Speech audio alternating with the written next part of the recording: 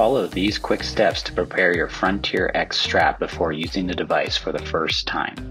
Some straps arrive with a black plastic protective inserts inside the metallic electrode socket. You'll need to remove this for optimal performance. To remove the insert, use a sharp tool like a safety pin to carefully pry out the insert on both sides. Your strap is now ready for use.